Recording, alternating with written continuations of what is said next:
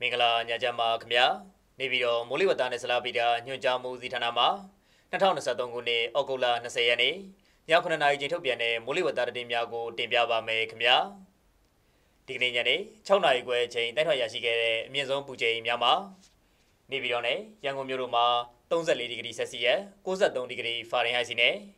မန္တလေးမြို့မှာ39ဒီဂရီဆက်စီယပ်69ဒီဂရီဖာရင်ဟိုက်တို့ဖြစ်ကြပါတယ် ဒီကနေ့ညနေ6နာရီခွဲအချိန်မိုးလေဝသကြိုရူမှာဖမ်းယူရရှိတဲ့ပုံရမင်္ဂလာပင်လယ်ရောနောက်လေပိုင်းနဲ့အနောက်တောင်ပိုင်းတို့မှာတည့်ရတင့်အင့်ဖြစ်ထွန်းနေပြီးကပလီပင်လယ်ပြင်နဲ့ကြံမင်္ဂလာပင်လယ်ရောတို့မှာတည့်ရတင့်အင့်မှာတင်ထူတက်နေပါတယ်မြန်မာနိုင်ငံပေါ်မှာတော့တပြည်လုံးမှာတည့်ရတင့်အင့်မှာတင်ထူတက်နေတာကိုတွေ့ရပါတယ်မင်္ဂလာပင်လယ်ရောအခြေအနေရတော့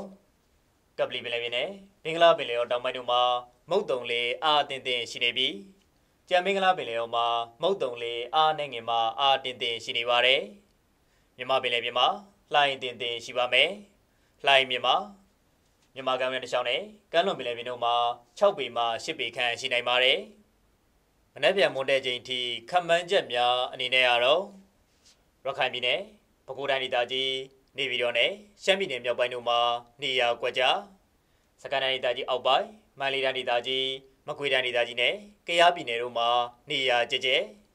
ကချင်ပြည်နယ်စကိုင်းတိုင်းဒေသကြီးထပ်ပိုင်းချင်းပြည်နယ်အေရဝတီတိုင်းဒေသကြီးရန်ကုန်တိုင်းဒေသကြီး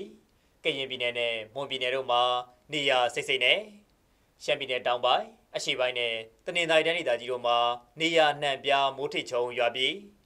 ကချင်ပြည်နယ်စကိုင်းတိုင်းဒေသကြီးထပ်ပိုင်းမန္တလေးတိုင်းဒေသကြီးကရင်ပြည်နယ်မွန်ပြည်နယ်နဲ့တနင်္သာရီတိုင်းဒေသကြီးတို့မှာနေရာကွက်ပြီးမိုးကြီးနိုင်ပါတယ်။ နေပြည်တော်နဲ့နီတွားရီအတွက်မနေ့ပြန်မွန်တဲ့ချိန်ထိမိုးလေဝသအခြေအနေခန့်မှန်းချက်မှာနေရာကွက်ကြားမိုးထစ်ချုံရောက်ပါမယ်။အနေဆုံးပူချိန်မှာ26ဒီဂရီဆက်စီယပ်89ဒီဂရီဖာရင်ဟိုက်ရှိနိုင်ပါတယ်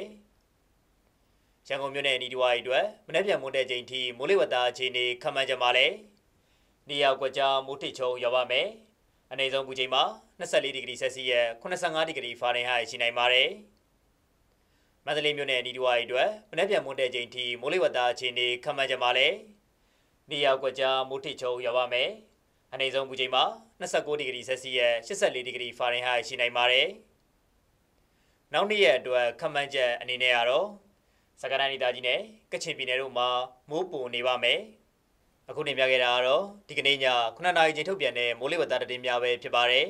ကိုစိတ်နှဖျားစမ်းမာချမ်းသာကြပါစေခင်ဗျာ